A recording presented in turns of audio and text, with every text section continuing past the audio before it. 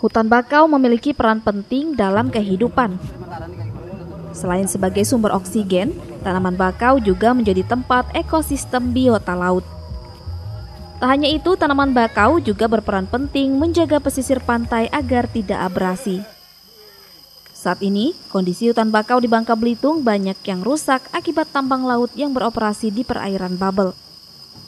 Untuk itu diperlukan berbagai upaya untuk melestarikan hutan bakau yang ada di Bangka Belitung.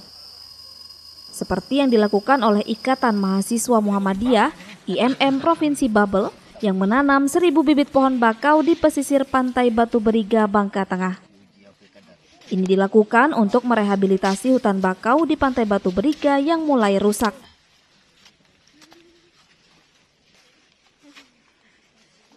Uh, sebetulnya ini program ini berlanjutan. Untuk yang perdana, kami memfokuskan penanaman pada seribu pohon terlebih dahulu. Nah, mungkin ke depan ya kami berharap uh, bisa menambah untuk uh, penambahan pembibitan di Desa Batu Beriga dan di desa-desa lainnya seperti itu. Bupati Bangka Tengah mengapresiasi kegiatan yang digelar IMM tersebut.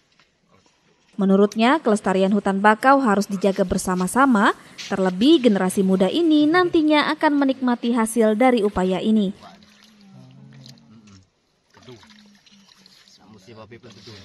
Ya ini buah usaha dan pemikiran dari rekan-rekan mahasiswa Muhammadiyah Provinsi Bangka Belitung yang berpikir bagaimana menjadikan daerah kawasan pesisir ini ya terutama yang berada di daerah Briga ini akan ditumbuhi oleh mangrove-mangrove yang cantik-cantik untuk mencegah terjadinya pengikisan terhadap pasir tanah yang ada di sini.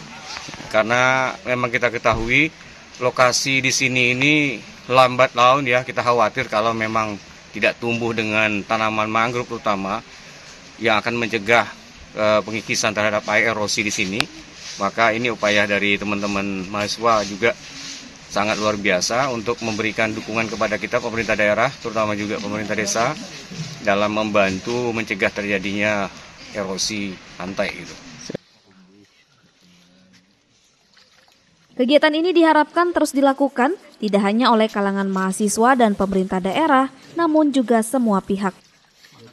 Mengingat kelestarian alam, khususnya hutan bakau, merupakan tanggung jawab semua pihak demi anak cucu mendatang. Satu, dua. Doni Wijaya melaporkan dari Bangka Tengah. Satu, dua, tiga. Satu, dua, tiga.